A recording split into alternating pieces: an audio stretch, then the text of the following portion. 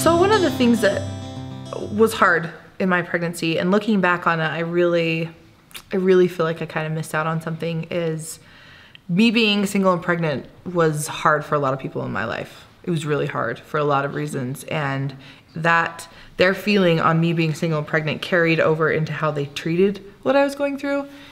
And I, I really wish that that I had been encouraged to celebrate the life I was growing. Someone was coming into this world, regardless of how it happened, you know, a baby, a baby, a person, an adult was was entering this life, and that should be celebrated, not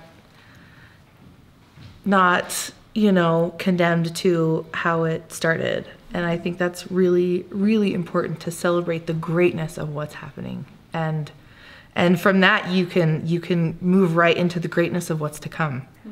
But I, I think that's really important to remember in this difficult situation because there's enough hardness and there's enough sadness and there's enough anxiety and mm-hmm. stress. And at the end of the day there's a little person that's coming into this world and you get to be part of it. And i i, I wish i had had more of that in my pregnancy. I told there was a guy once who i told i'd placed a child for adoption and he goes oh don't worry i won't judge you. And i was like okay, I won't judge you either. I'm like, why would you? But honestly, go ahead and judge me because this is the best thing I've ever done. Mm-hmm. It's the best thing I've ever been a part of. You know, neither bringing a child into the world nor placing a child for adoption and creating a family are transgressions or things that I'm ashamed of. There yeah. are no skeletons in my closet in regard to this. It's something that I wear on my sleeve, as a matter of fact, and I haven't always been that way. But when I finally did come completely out of the adoption closet, I was like, this is so much better and so much easier. And my fears were not realized. And uh, it was just an, a more honest, um, unburdened life. You know, once I just was like, take me or leave me, I'm mm-hmm. deciding my perspective on this story. You're not. You know, no one's going to put any shame on me. Sorry. You know? yeah. yeah. And so, um, but yeah, I feel like it's the best thing I've ever done, the best thing I've ever been a part of. I don't know how I could ever mm-hmm. hide it. It doesn't deserve hiding. Yeah. I'm very proud of the choice that I made. Um, and I'm not talking about the choice to get knocked up, you know, which was more of a, you know, inadvertent choice. But adoption's about what I did right, not about what I did wrong. Exactly. Yeah, exactly. Well, that's so many um, birth moms that I know who will come to me and say like, "Oh my gosh, how are you so open about your story? Like I've been hiding this for so mm-hmm. long and I've never told anyone because I'm so ashamed of what happened." heartbreaking. And I always tell them like, "You have every right to be ashamed of the act that got you, you know, pregnant and in an unplanned pregnancy, that's okay to be ashamed of that, but the life that you created, you should never be ashamed of. Exactly. And the choice that you made, such such a selfless, amazing choice, you should never be ashamed of that because bottom line is you created a family. Like mm-hmm. you took something that was really hard and painful and you made it into something so beautiful and wonderful. And like you said, like I wish people would have encouraged me like, yeah, I was a pregnant teenager. It sucked. But mm-hmm. like if someone would have just come up and been like, oh my gosh, like you're gonna have a baby, like yeah. that's really cool. I didn't get that once, not no. once. Yeah. It was always, I'm so sorry, I can't, I can't imagine what you're going through. Mm-hmm. And then I was watching my aunts who were pregnant with me, and everyone's like, oh gosh, you're gonna have a baby, but no one was excited for me. Mm-hmm. Even though I was making a hard decision, I was still excited. I was still growing a baby. Like mm-hmm. that's really it's exciting. pretty cool. There's yeah. one person running around, and that person deserves to be celebrated. Exactly. The circumstances. Exactly. The the family I was living with, because I was living with a host family in Atlanta at the time, and their daughter called from wherever she was and said she was pregnant, and the whole house erupted in celebration, and I went in my room and cried.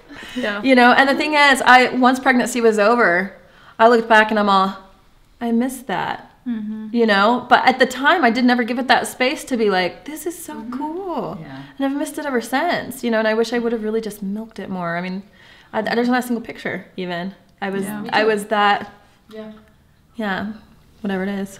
Yeah, when I was pregnant um, with my son that I placed, my I was uh, five or six months pregnant, and my sister called me. She's like, "I just want to tell you." I'm pregnant. She was, uh, this was her second baby. And she had a really hard time saying that to me oh. because she was worried about how I would feel. And I appreciate that so much. But I, you know, I can celebrate what I'm doing just as equally as she can celebrate, you know, her new baby. So. You know, once I chose an adoptive family, I felt like then I had more space to celebrate. Yeah, mm-hmm. yeah. Because I was happy for them. Yeah. You know? And I was like, Yeah. you're gonna get a baby. And then I'd be like, oh my gosh, I'm losing a child. But you're gonna get a baby. Yeah. You know, it was like the Yeah. silver lining. It was like, you know, Yeah. It's great to celebrate with with the family. as totally. well. And I have found that you can feel sorry for yourself and happy for someone else simultaneously. Yes. Mm-hmm. yes. And as a matter of fact, feeling happy for them makes the hurt better. like does. it soothes It the does. hurt. So Definitely. That was the only way I was able to get through the actual placement was Mm-hmm.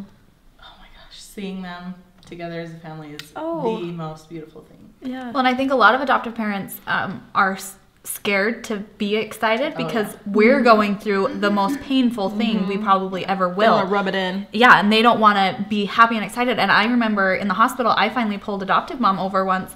I said, like, go change her diaper. Like, I have not seen you change her diaper one time. She's like, well, I don't want to step on any toes. And I'm like, guess what? You're a mom. Go change her diaper. like that. And they were trying to be so cautious of my feelings. And I, my pain was, like you said, my pain was taken away watching them be parents because I could see the beautiful thing that I just mm-hmm. created. I wanted to watch that. I wanted to, them to be so over the moon happy, and I mm-hmm. wanted to witness every single moment of that. Yeah, it's like please milk it for all it's worth. Yeah. Somebody should be enjoying this, you know, like Yeah. I gave you this awesome thing. You better put a smile on your face. You know, you better really, really enjoy it to the max. Yeah. Yeah. Yeah. That is one thing that's hard when, you know, because my son's parents was in, they were in the hospital with me. And so, you know, they were just overjoyed, but could see, you know, those moments where mm-hmm. I was feeling the loss and that heaviness. And I know that was so hard for them, mm-hmm. but I appreciate the way that they handled that. They were fantastic. And I think they can be happy for themselves and sorry for you at the same Definitely. time. You know, and I, as a matter of fact, I think that's a beautiful thing to do. You know, I think to carry each other's burdens, we're really set up perfectly to do that. You know, we've got these parallel paths that start from pretty hard or a lost situation. You know, um, so we can really, I, we can empathize with each other really well. Yeah. You know,